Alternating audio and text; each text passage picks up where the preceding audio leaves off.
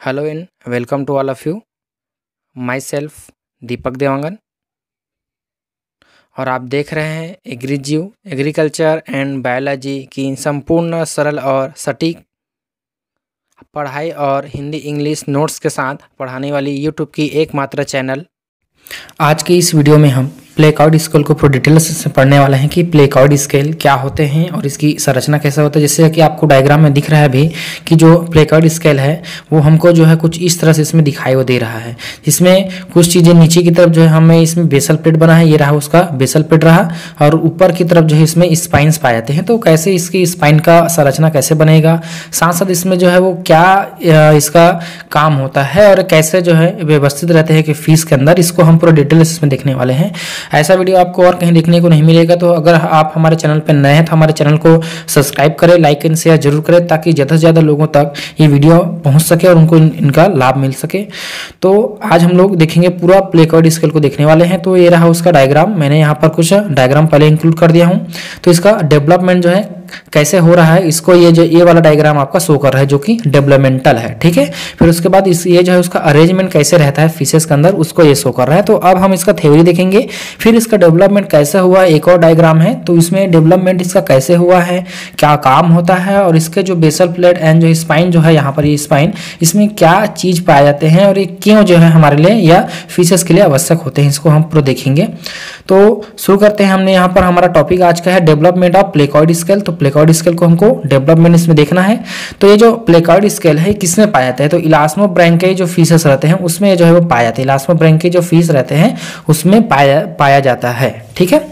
जैसे कि अब देखें यहाँ पर इसका स्ट्रक्चर देखेंगे तो स्ट्रक्चर के रूप में हमारे पास स्ट्रक्चर ऑफ़ प्लेकॉइड स्केल तो प्लेकॉइड स्केल को जो है दो भागों से मिलकर बना होता है, जो हमारा प्लेकॉइड स्केल है, अर्थात जो फीसेस का प्लेकॉइड स्केल है, वो दो भागों से मिलकर बना होता है।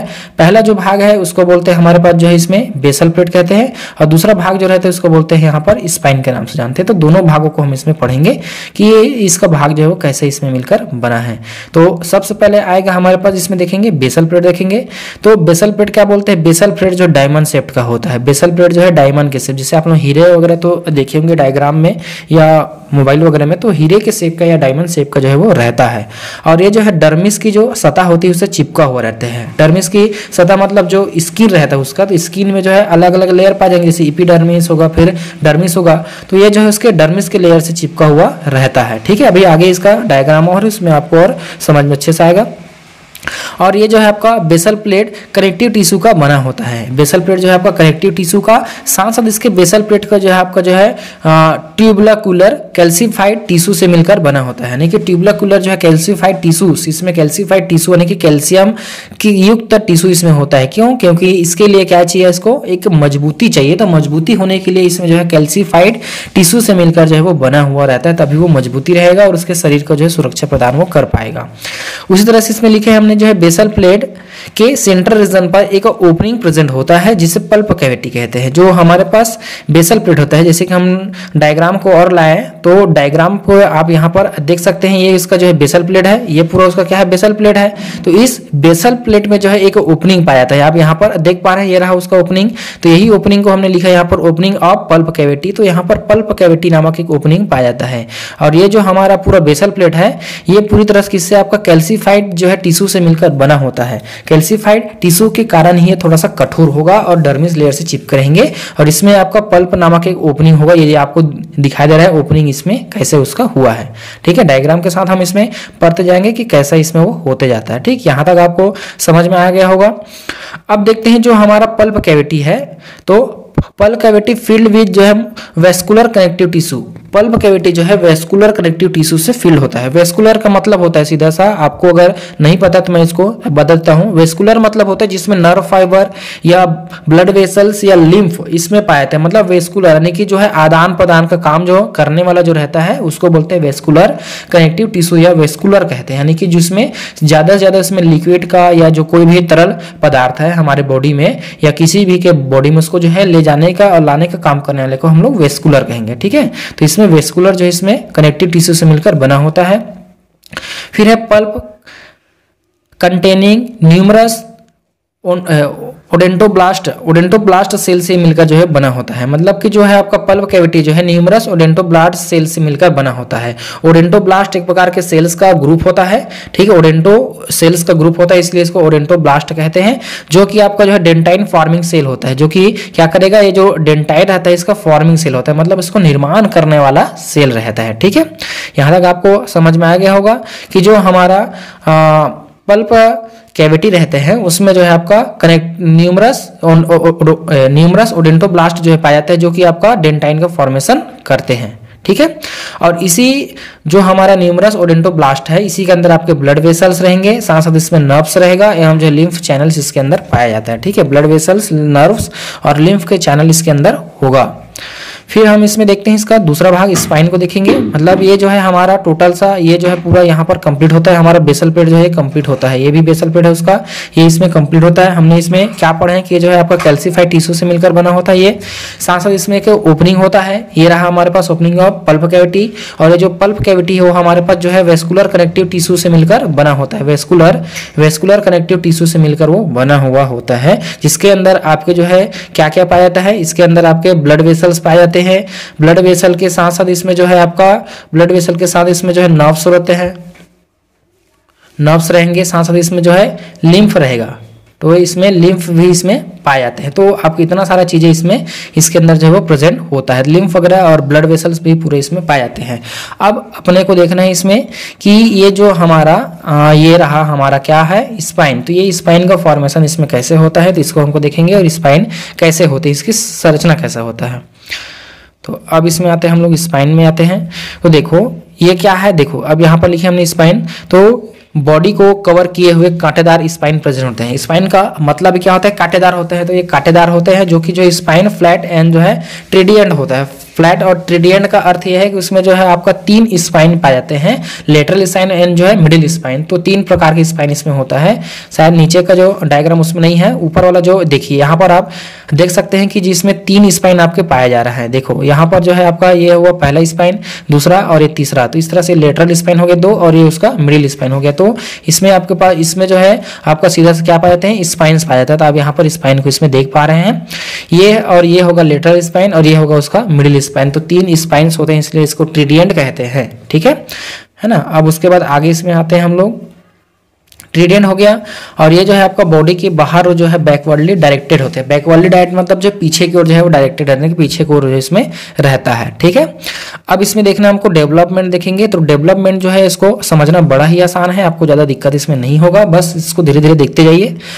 तो डेवलपमेंट्स ऑफ़ प्लेकॉइड स्केल तो प्लेकॉइड स्केल का डेवलपमेंट जिसमें कैसे होगा, इसको हमको देखना है। तो क्या बोल रहे हैं? मिजोडर्म की कुछ सेल जो है एक जगह पर इकट्ठा हो जाता है और डर्मिस के ऊपर यह प्रक्रिया चलती है। तो मिजोडर्मा का कुछ एक कुछ जो सेल होते हैं वो इकट्ठा होना शुरू होता है। जैसे कि मेलपिगी सेल होता है, वो इकट्ठा शुरू इकट्ठा होना शुरू होता है। जैसे कि आपको यहाँ पर दिख रहा होगा, ये रहा उसका डर्मिस लेयर है और ये उसका जो है इपीडर्मिस यानी कि इधर का जो पूरा रीजन है वो इपीडर्मिस का है और इधर जो है पूरा आपके पास जो है वो डर्मिस का लेयर है।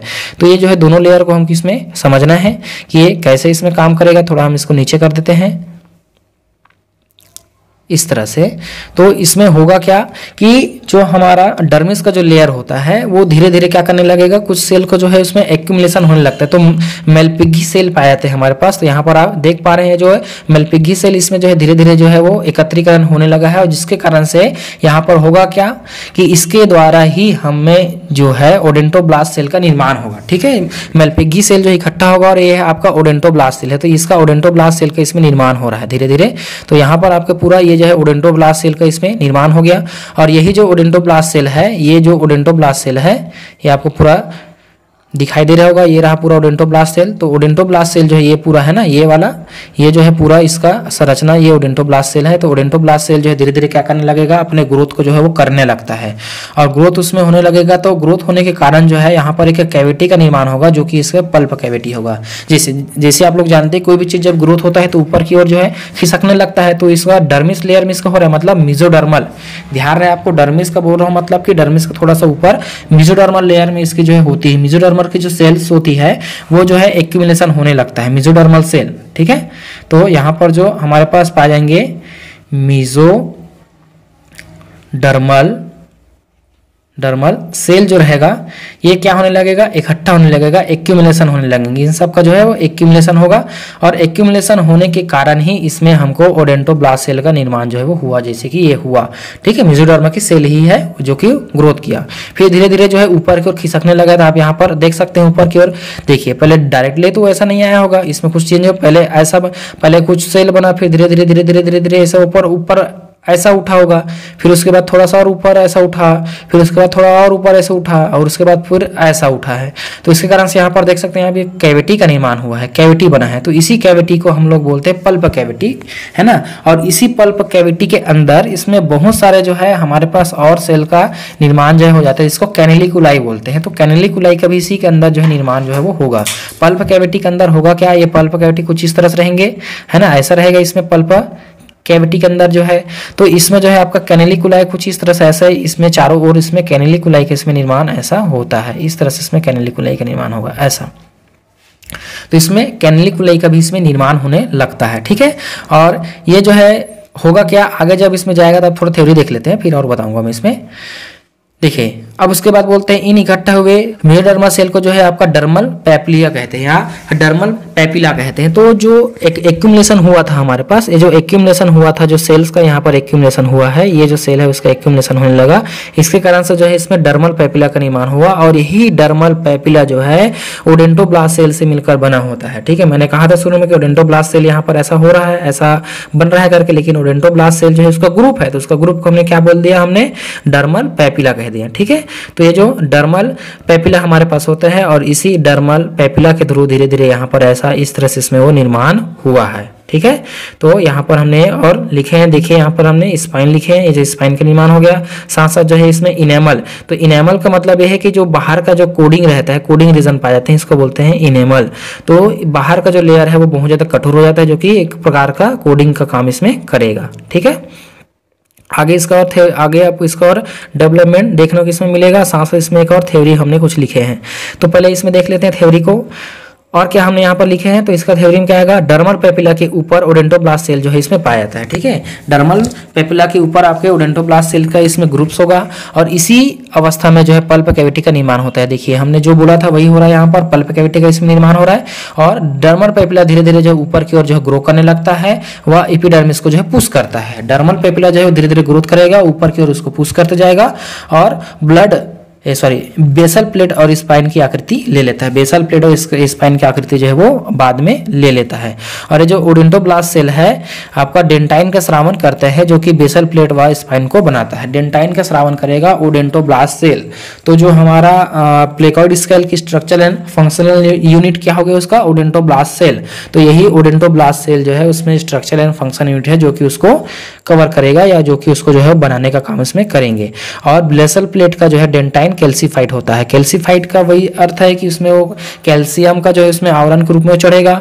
फिर यहाँ पर लिखे हैं इपीडर्मिस के जो है मेलपेगियन लेयर धीरे धीरे आगे चलकर जो है आ, एमेलोब्लास्ट का इसमें सेल का बना निर्माण करता है। एमेलोब्लास्ट सेल का वो धीरे धीरे इसमें निर्माण करता जाएगा और यह जो है इनेमल लाइक जो है विट्रो डेंटाइन का श्रावण करती है। इनेमल लाइक विट्रो डेंटाइन का श्रावण मतलब कि आप सीधा से यहाँ पर डायग्राम में आपको मैं इसमें दिखाता हूँ कि यहाँ पर हमने देखे थे, देखो इनेमल यहाँ पर लिखा हुआ है तो ये इनेमल का जो है श्रावण हुआ है इमेलोब्लास्ट सेल के द्वारा जो है वो हुआ, जो कि मल्पिघी के द्वारा इसमें श्रावण होता है तो इमेलो ब्लास्ट के द्वारा इसमें हुआ है। और यही जो है आप में श्रावण करेगा केमिकल्स का इसमें श्रावण करेगा, जिसका हमारे पास नाम होता है यहाँ पर इसका नाम होगा enamel like in vitro dentine. तो इनेमल के लाइक इनमें इन विट्रो डेंटाइन का फॉर्म फॉर्मेशन कर। जैसे हमारा दांत तो हमारे दांत के ऊपर जो है इनेमल पाया जाता है तो उसी तरह से इसके ऊपर में जो है आपका विट्रो डेंटाइन इसमें फॉर्मेशन करेगा इनेमल के जैसे। तो हमारे दांत की संरचना जैसे रहता है, वैसा ही इसमें भी आपका इसके जो